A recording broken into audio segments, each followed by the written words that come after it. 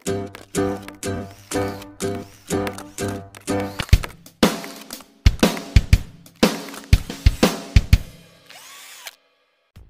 Sucederá en el capítulo 5 de la telenovela Eternamente Amándonos. Martina se da cuenta de que Paula y Rogelio pasaron la noche juntos antes de su boda, así que asegura que no descansará hasta que esa mujer se largue de su casa. Por otra parte, Blanca está muy emocionada de haber pasado la noche con Marcos, pero él no le da mucha importancia. Micaela se da cuenta de ello y Blanca comienza a llorar, Titi despierta muy asustada y le pregunta a Paula si realmente se quiere casar por la iglesia. Ella le dice que no va a cambiar de opinión y es mejor que se arregle cuanto antes.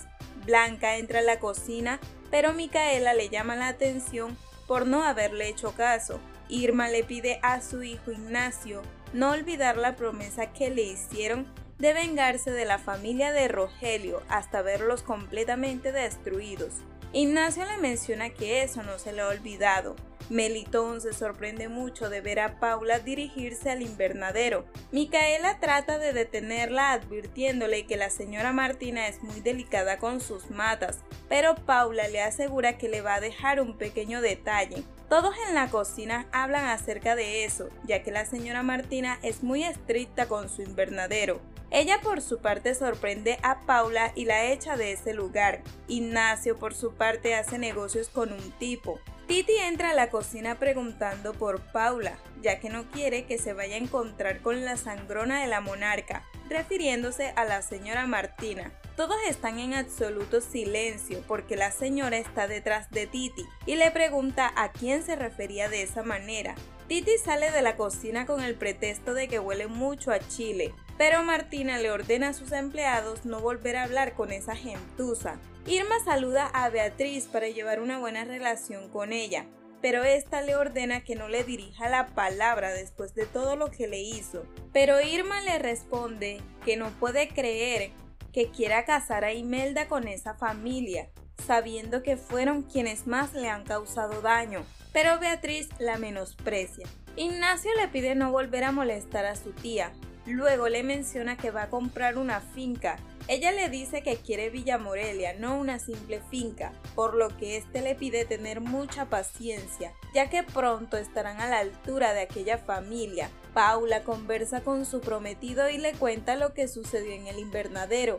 Este se sorprende mucho y le dice que su madre es muy delicada con sus plantas, pero ella le promete que no volverá a meterse en ese lugar. Titi le pide a Paula acompañarla a comprarse un vestido para su boda. Ella acepta. Por otro lado, Rogelio llega a la habitación de su madre para convencerla y que trate de cambiar la opinión que tiene sobre Paula, pero por más que lo intenta, ella no da su brazo a torcer. A la mañana siguiente se sorprende mucho de no ver a Paula ni a su tía, pero Rogelio les menciona que salieron de compras y decidieron desayunar en otro lado.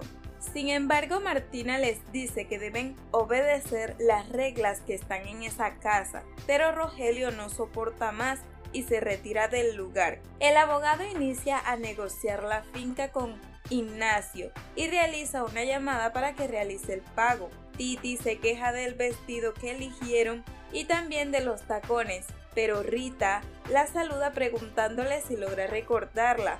Eva se hace la desentendida y le dice que seguramente se está confundiendo. Honorio llega a la casa de sus patrones pero le llama la atención sentirse observado, pero por más que busca no encuentra a nadie en ese lugar. Fidel conversa con Rogelio y Fernando, diciéndoles que todavía no sabe quién fue el comprador de aquel lugar, pero Ignacio los observa a la distancia. Días después, Imelda está afanada para no olvidar nada de su boda. Sus padres le reclaman, ya que está siguiendo todas las instrucciones que le dice Martina, cuando bien puede cambiarse en su propia casa. Imelda le responde que Martina así lo dispuso y no puede contradecirla, pero su padre le llama la atención ya que nunca estuvo de acuerdo con su noviazgo. Ella le asegura que todo va a estar bien, Blanca va en camino a botar la basura, pero al encontrarse con Marcos pasa de largo. Martina le da órdenes a Imelda y a Paula para ingresar a la iglesia. Imelda le dice que ella quiere entrar de última, pero Martina le responde que las cosas se hacen como ella lo está estableciendo. Titi le dice a Paula que se ve muy hermosa el día de su boda, así que Paula le pide que la lleve hasta el altar. Ella acepta y se coloca algo nostálgica, pero le desea lo mejor en su día. Luis trata de comunicarse con su hermano Marcos, pero este no le contesta. Él por su parte va a toda velocidad con alguno de sus amigos. Micaela le aconseja a Blanca tener mucho más cuidado con sus sentimientos, pero ella le menciona que el amor debe ser correspondido, así como el del señor Rogelio con Paula. Pero Micaela le afirma que eso también puede cambiar, Luis sigue intentando comunicarse con su hermano, además de dejarle un mensaje de texto. Este se encuentra reclamándole a Clarisa por exponerse de esa manera, pero ella le responde que para ella fue muy normal. Marcos recibe el mensaje de texto de su hermano y se marcha de una. Felipa le llama la atención a Melitón por andar despeinado. Por otro lado, Paula se queja del vestido que le tocó, pero Titi le dice que sigue siendo muy hermosa. Paula le pregunta a la señora Martina para qué la mandó a llamar. Ella le entrega una de sus joyas para que la use ese día, pero luego le da una Imelda mucho más hermosa. Paula se llena de mucha rabia porque consideraba que Martina la estaba aceptando en su familia y únicamente ha querido es humillarla. Fernando está bastante desesperado. Rogelio aparece en el lugar y ambos se dicen lo guapo que están, además de hacer feliz a sus esposas. Imelda viene bajando las escaleras y todos exclaman que se ve preciosa. Martina les pide a todos que se dirijan a la ceremonia, pero Eva les dice que aún falta Paula. Todos se encuentran en la iglesia. Unas viejas hacen comentarios acerca de las novias, pero Imelda exclama que no puede esperar más tiempo. Pero Luis le responde que Paula ya viene en camino.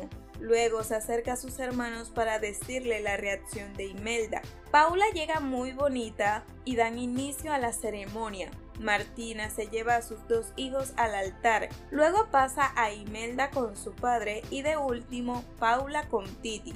El padre procede a casar a ambas parejas. Luego los declara marido y mujer. Ellos se besan, pero dentro de la multitud, Oscar sale con un arma disparándole a Paula. Hasta aquí este avance. Si te ha gustado, déjanos un like y una suscripción.